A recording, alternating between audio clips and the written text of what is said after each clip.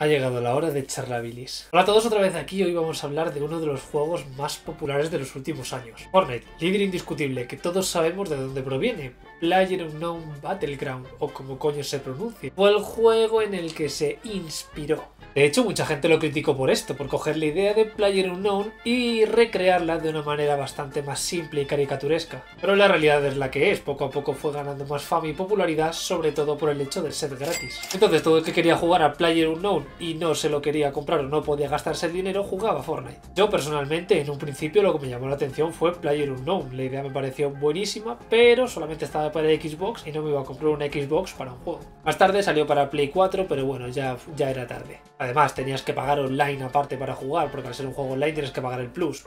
Realmente en Fortnite puedes permitirte el lujo de no pagar ni un solo céntimo, pero claro, tienes que conformarte con la skin predeterminada. Si es cierto que con las recompensas gratuitas puedes ganar algunos pavos sin llegar a comprarte el pase de batalla, pero hay que reconocerlo. Para juntar los suficientes pavos para comprarte una skin, lo mismo para cuando reúnas el dinero ya se ha pasado de moda el juego. Porque eso es otro punto a tener en cuenta, hay que joderse lo caras que son las skins. Algunas pueden llegar a valer 20-25 euros de la vida real. De hecho, eso es lo que te puede costar un juego completo de segunda mano. Las cosas hay que dejarlas claras, pero vamos a ver, son 25 pavos por un aspecto. Básicamente las recompensas gratuitas son completamente ridículas. Hoy pasamos a analizar este título y realmente es tan bueno.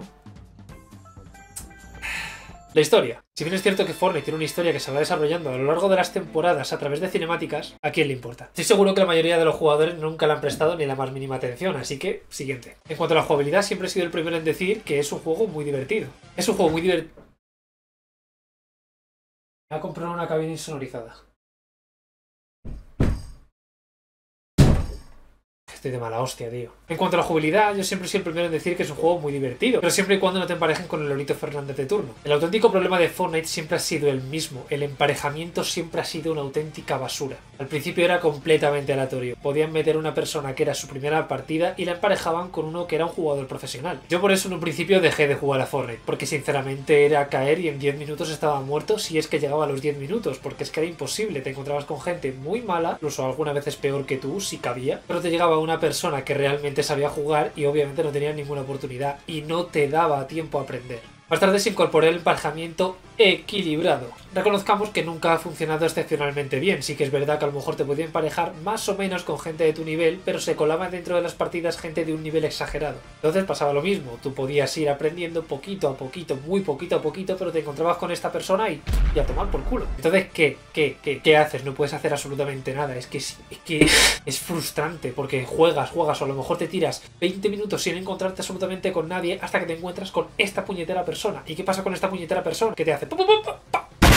Bueno, básicamente, si jamás he ganado una partida, no me puedes emparejar con una persona que tiene 800 victorias. No puedes, no puedes, es, es, no hay equilibrio. Pero volviendo a la jugabilidad, que sinceramente me voy del tema, creo que es divertido sobre todo si juegas con amigos. Ojo, amigos. ¿Y por qué hago tanto énfasis en esta palabra? Porque como te metas en una partida pública con gente que no conoces, un emparejamiento de estos aleatorios, la has cagado. Fortnite tiene una de las comunidades más tóxicas que he visto. Son egoístas. En cuanto caes, desaparece el compañerismo. Van por su lado, te abandonan. Si has caído, no te reaniman. Si necesitas escudo, no te dan escudos. Si necesitas materiales, no te dan materiales. No te dan absolutamente nada. Van a su bola, a ganar ellos. Y encima, como tengas micrófono, ojo como tengas micrófono, como tengas micrófono, a la mínima que la hayas cagado, los vas a tener ahí encima de ti. ¡Gilipollas! ¡Manco! ¡Novato! ¡No!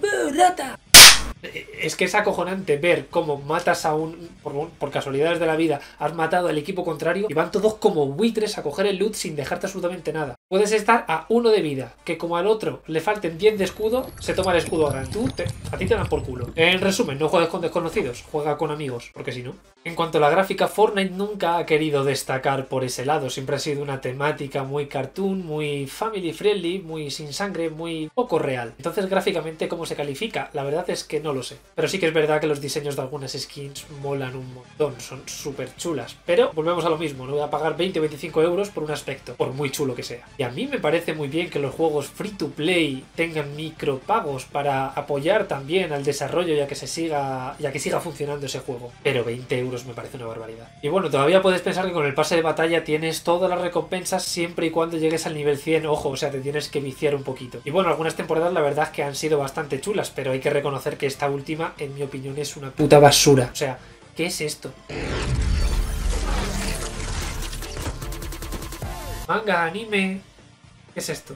Y en cuanto al diseño de niveles y de escenarios, que también suelo explayarme un poquito en los otros vídeos, tampoco puedo decir gran cosa. ¿Qué puedo decir? Que el mapa va cambiando con la temporada, pero ya, o sea, no me gusta. Me gustaría que hubiera más variedad de mapas. Dos, tres, yo qué sé. Creo que Fortnite es un juego divertido si juegas con amigos, frustrante si juegas solo, mal equilibrado en cuanto al emparejamiento, por supuesto, y muy abusivo con sus jugadores. Toda la vida se han criticado los juegos con micropagos y los, eso, los pagos in-game que se llaman, y Fortnite es el que más ha explotado esto con diferencia, vamos a ver. Llegando a tal punto de que ahora hay una suscripción mensual que te cuesta 11 euros. 11 euros por una skin y cuatro chorradas que te dan. Claro, te pones a echar cuentas y dices, joder, claro, me sale más barato, pero no es barato, es caro de cojones si te paras a pensarlo. Porque tú realmente te compras una vez al mes un skin o un lo que sea, yo diría que no, alguno habrá. Pero ahora por obligación te gastas 11 euros al mes. Ah, no me gusta. Por lo menos no son cajas de loot en plan aleatorias, en plan tragaperras, eso también hay que reconocerlo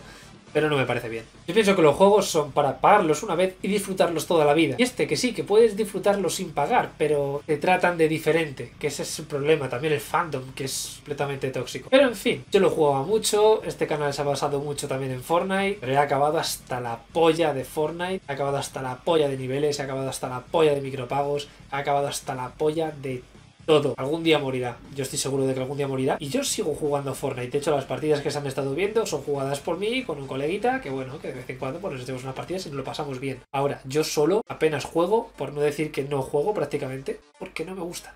Es lo que hay. Fortnite, un boom en su momento. Pero podemos clasificar como un 8 o un 9, igual que Pokémon Go, porque hizo boom y poco a poco ha ido para abajo. En resumen, Fortnite no es para tanto, no merece tanto la pena y os va la vida en ello, así que relajaos las tetas.